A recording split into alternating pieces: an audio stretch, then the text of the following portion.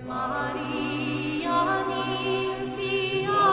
Οι Καρπασίδες παλεύουν εδώ και μισό αιώνα για να κρατήσουν ζωντανό το θρησκευτικό στοιχείο κάτω από δύσκολες συνθήκες τι οποίες επέβαλε η εισβολή. Εγκλωβισμένοι και πρόσφυγες με τη βοήθεια της Επισκοπής Καρπασίας αλλά και της Τεχνικής Επιτροπής για την Πολιτιστική Κληρονομιά κατάφεραν να ολοκληρώσουν τις εργασίες για αποκατάσταση του ιερού ναού Αγίου Συνεσίου στο Ριζοκάρπαζο, τον οποίο επισκεφτήκαμε χθε λίγο μετά την αποχώρησή μας από τον Απόστολο Ανδρέα. Πρόκειται για ένα ιστορικό ναό του 12ου αιώνα, τον οποίο οι πρόσφυγες αλλά και οι εγκλωβισμένοι εδώ στο Ριζοκάρπαζο θέλουν να λειτουργήσουν μετά από δύο χρόνια εργασιών αναστήλωσης. Το έργο αυτό είναι εξαιρετικά σημαντικό και για λόγους σημειολογίας, όπως αντιλαμβάνεστε, λόγω και της παρουσίας Ελληνοκυπρίων στη συγκεκριμένη περιοχή. Έχει ολοκληρωθεί κατά ένα πολύ θετικό τρόπο. Μαζί με την Εκκλησία της Αγίας Τριάδας, στην οποία έγινε την Τρίτη το απόγευμα ο Εσπερινός για τη γιορτή του Αποστόλου Ανδρέα, ο Άγιος Συνέσιος είναι μία από τις δύο εκκλησίες των κατεχομένων που δόθηκε άδεια από τις λεγόμενες αρχές για να λειτουργείται καθ' όλη τη διάρκεια του χρόνου από τον Πάτερ Ζαχαρία.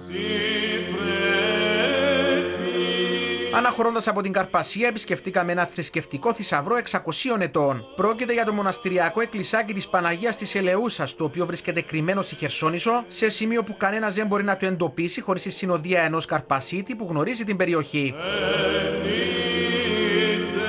Αυτό τον ρόλο ανέλαβε ο Αναστάσιος, τον οποίο οι γονείς του έπαιρναν εκεί από μικρό παιδί. Τα χρόνια πέρασαν, ωστόσο κάθε εβδομάδα επιστρέφει στη γη που τον γέννησε για να ανάψει τα κεριά στο μικρό εκκλησάκι της Παναγίας. Είναι εκκλησίες οι οποίες είναι μόνες τους εδώ και χρόνια, δεν λειτουργούνται, όμως υπάρχουν, υπάρχει μια ιστορία, υπάρχει μια ομορφιά και μπαίνοντας σε αυτές τις εκκλησίες νιώθεις διαφορετικά και πολλά όμορφα. Μετά την τουρκική εισβολή, το μοναστήρι και το εκκλησάκι καταστράφηκαν όπως και τόσα άλλα στα κατεχόμενα. Μάλιστα, το μοναστήρι μετατράπηκε για αρκετά χρόνια σε στάβλος για τα ζώα πριν κρεμιστεί από τη φθορά του χρόνου.